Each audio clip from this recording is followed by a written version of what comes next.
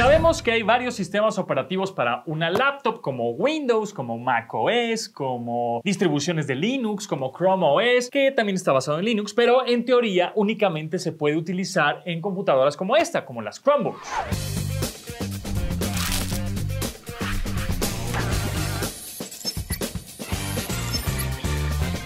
Chrome OS es un sistema muy joven, se lanzó en 2011, apenas va a cumplir 10 años y ya es un sistema muy popular. Muchas escuelas están utilizando Chromebooks porque son muy baratas y no necesitan componentes muy caros o poderosos para hacer las tareas básicas. Por cierto, no necesitas estar conectado a Internet para poderla usar, pero definitivamente sí necesitas una cuenta de Google para sacarle el mayor provecho. Emma, Emma.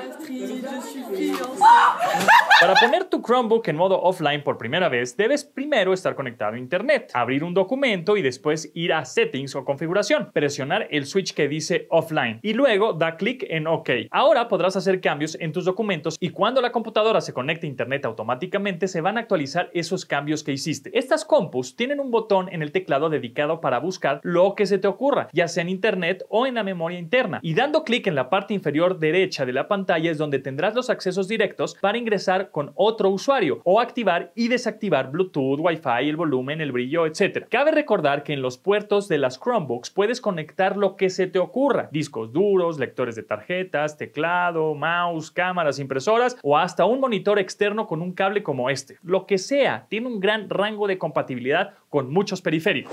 Las Chromebooks están llenas de gestos y atajos para hacer tu trabajo más rápido y cómodo. Fíjate muy bien cómo mover los dedos en el trackpad y checa estas combinaciones de teclas. El cacasguates. ¿Eh? Hace mucho no había cacasguates aquí en Kids and Chips. ¿Eh?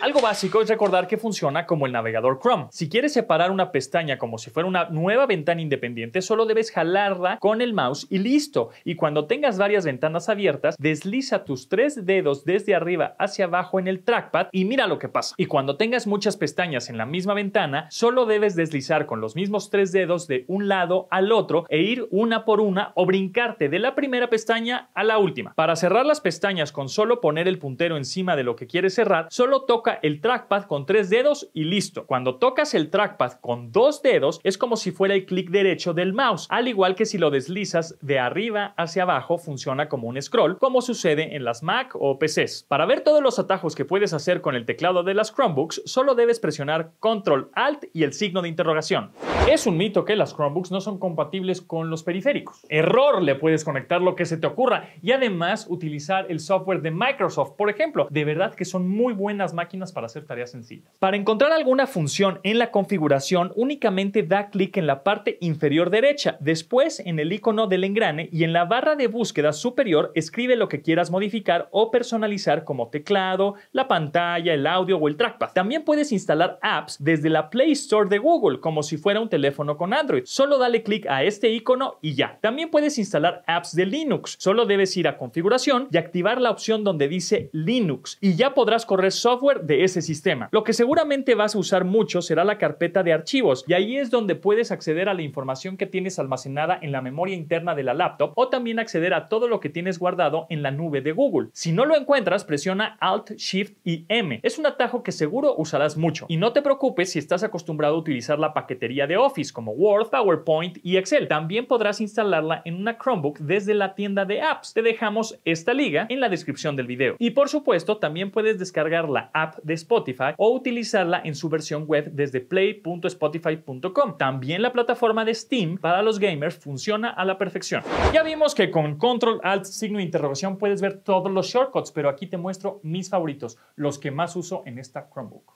Según Wikipedia, el cacahuate japonés en México se debe su origen a Yoshigei Nakatani, un inmigrante japonés él había trabajado en su país natal preparando mamekashi, semillas recubiertas con una capa de harina condimentada. O sea, en México tenemos cacahuates japoneses gracias a Yoshihei Nakatani. Ese es el creador del cacahuate japonés en México, según Wikipedia. Gracias a Yoshihei Nakatani. Ese es el creador del cacahuate japonés en México. Según Wikipedia.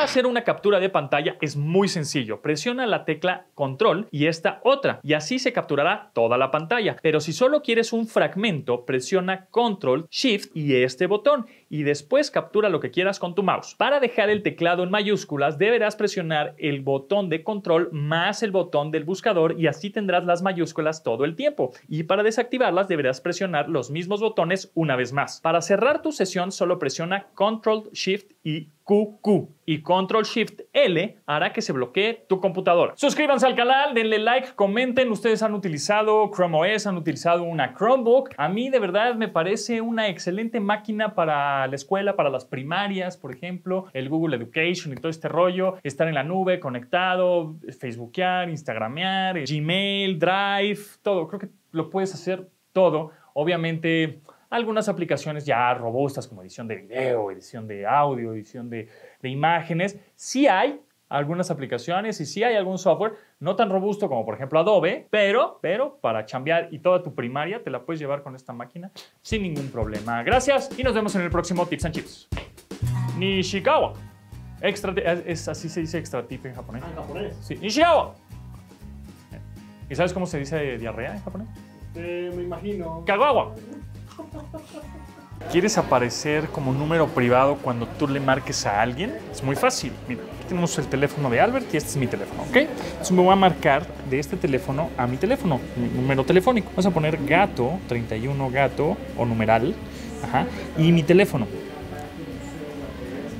Cuando yo presiono el botón para send o el botón verde para marcar, aquí va a marcar número privado. ¿eh? Oh. No me marca Alberto Villanueva, no, nada, ni, ni, el número telefónico, dice número privado. Y así funciona también, por ejemplo, en iPhone o en donde sea. Pones gato o numeral, 31, numeral o gato, y el teléfono, 55, bla, bla, bla, y va a aparecer como número privado. Se los dejo, chao.